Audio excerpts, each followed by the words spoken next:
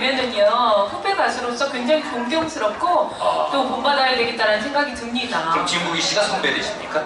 어, 제가 선배인가요? 아, 그럴 줄 아니 알아요. 저보고 선배님 선배님에서 나는 같은 아예 그렇고 자 대한민국 국민에게 꿈과 희망을 드리는 프로 파이팅 국민 여러분 오늘은 경기도 과천에서 함께하고 계십니다 그렇습니다. 이 살면서요, 내가 하고 싶은 일을 했을 때, 그리고 그 일에 최선을 다했을 때, 아쉬움은 있을지 모르지만, 후회는 남지 않는 것 같습니다.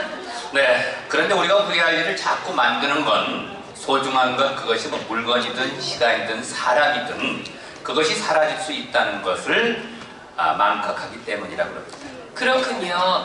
내가 가지고 있는 것, 그리고 내 주변에 있는 것을 당연하게 생각하지 말고, 조금은 긴장의 마음을 가지고 언젠가는 그것을 잃어버릴 수 있다라는 생각을 하면서 소중한 것일수록 더욱 사랑하고 또 지켜나가야겠습니다.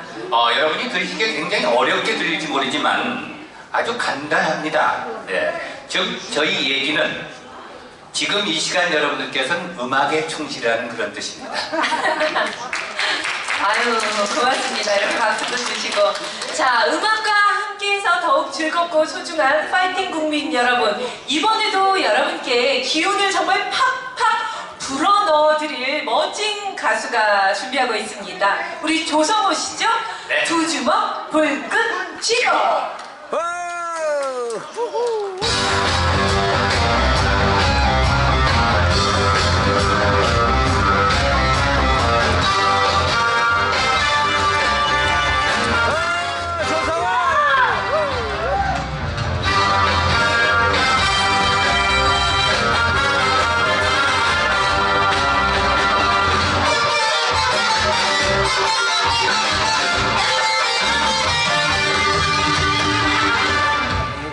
Yeah.